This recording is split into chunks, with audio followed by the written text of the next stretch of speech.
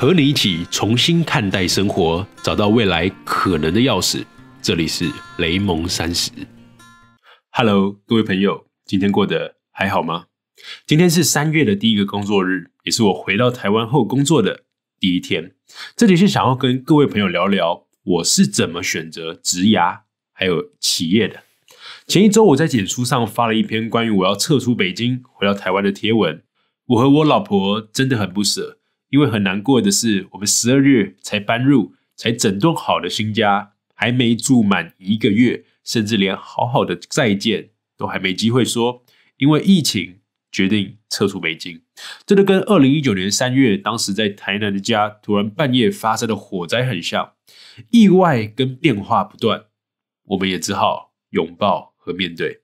虽然嘴巴上都说着拥抱变化，但事实上心里面还是很难调试的。那么我是怎么调试的呢？我避免自己陷入沉重心情的方法，就是加把劲去小到下一个阶段的职涯，还有公司，把自己投入在工作上的价值还有意义感。这是我走出悲痛跟难过心境的一种方法。所以，我们今天来谈谈职涯选择，再来谈谈企业选择。我很喜欢的一位职业规划教练古典老师，曾经提出一个车日入。模型来解释什么是生涯规划。简单来说，就是把你是谁、你想去哪里、你怎么去这三个经典问题，用了个比喻。换句话说，如果你是一辆车，你认为你是哪一种车？车里面还会有谁呢？你准备开往哪里去？你希望沿途经过什么地方？有什么样的风景？古典老师说，车代表你的自我概念。你认为你会是法拉利、宾士、福斯、卡车还是自行车呢？身边的人是你做这个决定的重要他人，而准备开往的地方是你这阶段的目标，沿途经过的地方则是你需要的经历。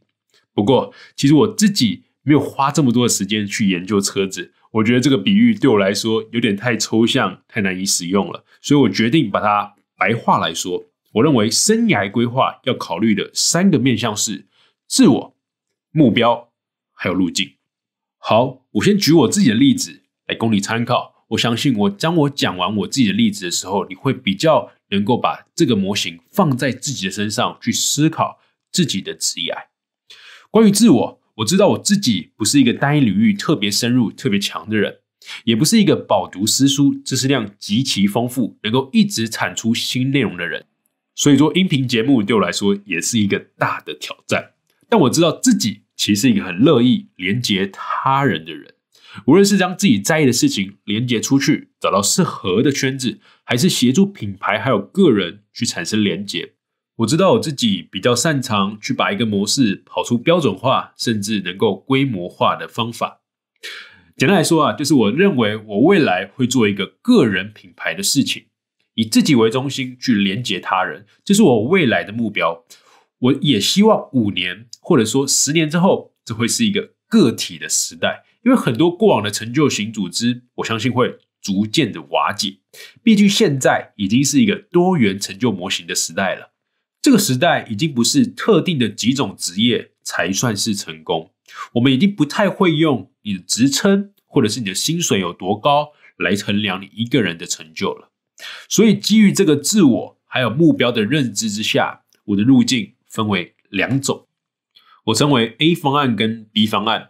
A 方案是在和我未来目标想做的事情非常相似的公司和组织，我参与了这些公司和组织，它会直接协助到我个人的个人品牌，或者是协助我助推这个未来个体时代，像是好 Press Play。或者是得到以及商业思维学院这几个非常优秀的组织，都是在这个路径上非常不错的选择。而 B 方案则是到一个我未来自己一个人完全不会接触，甚至我参与到这个组织对我未来目标的事情好像没有这么直接的相关，但它可以增加我的阅历的厚度，或许能够间接的帮助到我未来的目标，但主要还是去扩宽自己的自我认知。B 方案也其实也是我当初为什么想要离开台湾，先到北京的这个决定。到一个我不这么熟悉，几乎所有人都不认识我的环境，从头开始。这其实有点像贾博士所说的 “connect the dots” 这个概念，因为趁自己还年轻，到一个未知、有挑战的领域之中去打磨出另一种作品。这个东西等到你老了，回头来看，也比较不会觉得很遗憾。为什么年轻的时候没有做出一些其他疯狂的选择？不过这个概念啊，其实跟我当初高中考大学的时候选了工程科系挺像的。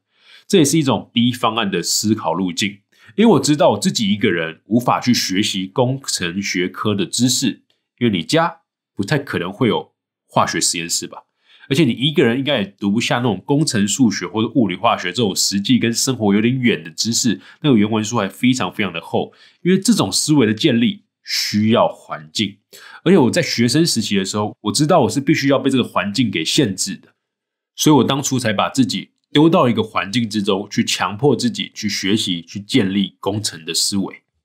这也是为什么常常会有人来问我，雷蒙，你怎么常常去选这种人烟罕至的路啊？确实，这种 B 方案的选择，跟你未来的目标没有直接相关的选择，在传统社会的成就积累认定上。是一条人烟罕至的路，但其实 B 方案的选择是基于我的目标和自我模型下的优化策略，因为我清楚我自己的行动力还有自主性，即便有些事情我喜欢的事情，没有人来督促我，我也会自己去做。但我知道我很清楚，有某些事情，如果我真的没有人来督促我，我还真的不太想去做，或者懒得去做，懒得去学习。所以我在我年轻的时候。我认为我应该要多去选这种 B 方案，这是我优化策略下的选择。好，经过我选择职业使用的自我目标路径的这个模型，以及我如何基于自己自我和目标下的了解，提出了自己现阶段的优化策略。那么你的模型又是怎么规划的呢？我非常想听听看你的分享。相信你也能透过这样子的自我目标路径的模型去了解自己的职业规划。当然，你也可以分享你怎么样认识自我的，你是怎么样找到目标的。欢迎到我的个人网站找到本期的文章，或者加入脸书社团参与讨论哦。我们下一期见。